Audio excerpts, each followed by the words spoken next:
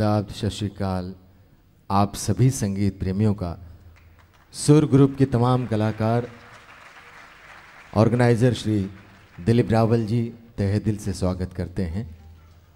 और बिना कहे, बिना मांगे, जो प्यार भरी तालियाँ आप लोगों की ओर से आई हैं, उसके लिए तहे दिल से बहुत बहुत शुक्रिया। दोस्तों, आज एक ऐसे संगीतकार के गानों का गुलदस्ता हम लेकर आए हैं, जिनके बारे में हम यही कह सकते हैं कि हिंदी सिनेमा संगीत के चमन में एक ऐसा फूल जो ग्लैमर की दुनिया में रहकर भी सादगी में रहा, ग्लैमर से दूर रहा। कहते हैं कि पेड़ों को पतझड़ वीराना बना देता है, बर्बाद मोहब्बत दीवाना बना देता है। मगर क्या तासीर है इस वक्त में कि हर दर्द को एक अफसाना बना देता है? लेकिन सचिन देव बर्मन जैसी शख्सियत आज हमारे बीच नहीं है, ये हमेशा हमारे दिल में दर्द बनकर ही बरकरार रहेगा।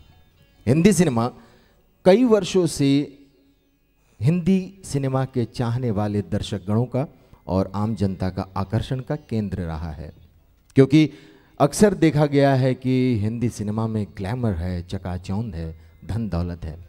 लेकिन एस डी बर्मन साहब की छवि जब नज़र आती है जहन में तो दिखलाई पड़ता है एक सादगी की मूर्त। सफ़ेद धोती कुर्ते में एक सीधा साधा ऐसा इंसान, जिसने संगीत का खजाना हिंदी सिनेमा के चाहने वालों को दिया।